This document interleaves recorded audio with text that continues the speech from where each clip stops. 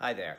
This one started out when I looked for a recipe on how to prepare a chicken that tastes like the deli rotisserie chicken we buy at the supermarket. Now, that's a very tasty chicken, and I've had many of those myself, but sometimes it seems as though you're paying seven, eight, or even nine dollars for what amounts to a rotisserie Cornish hen.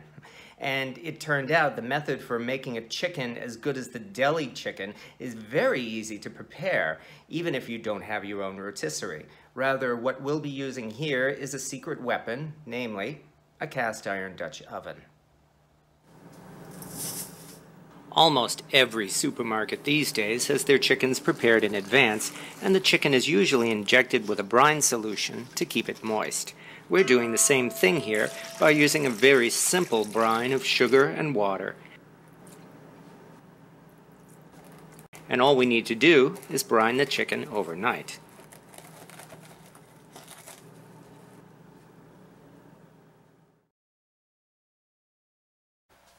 We start by placing the cast iron pot into the oven and heating it to 375 degrees Fahrenheit.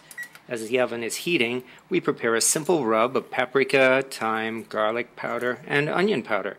These are simple ingredients, and it's a cinch for any supermarket to make their chicken in this manner.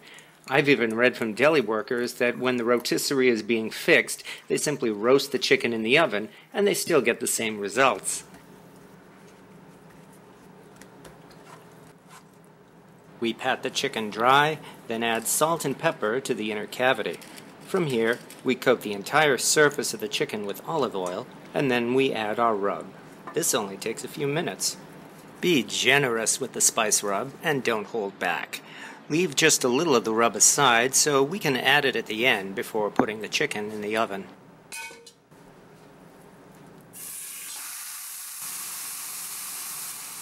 Now that's something you can't get with a baking sheet or even a rotisserie. Now we insert a probe thermometer and into the oven it goes. Once the chicken is in the oven, we roast it until it reaches 165 degrees.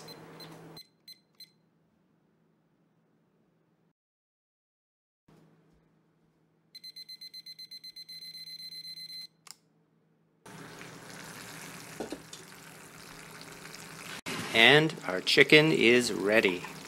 This was very easy to prepare, and the result is certainly worth the effort. Here we have a chicken with good crisp skin and meat that is tender, full of juices, and not dried out.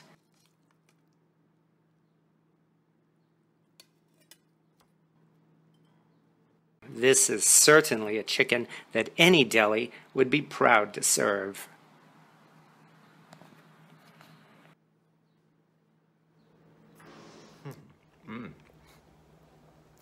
I have to say yes. This is the same taste you get from that supermarket rotisserie chicken. I admit my convection oven does have a rotisserie, but I rarely use it. And besides, using a preheated Dutch oven gives results every bit as good as the rotisserie style. And as much as I enjoy that supermarket deli chicken, this is a method that makes me wonder when, if ever, I'll be buying another chicken from the deli counter. Give this a try, please, and see what you think, and please be sure to post your comments here. Oh, and one more thing. Imagine using this method to roast your Thanksgiving turkey. Thank you for watching. Mm.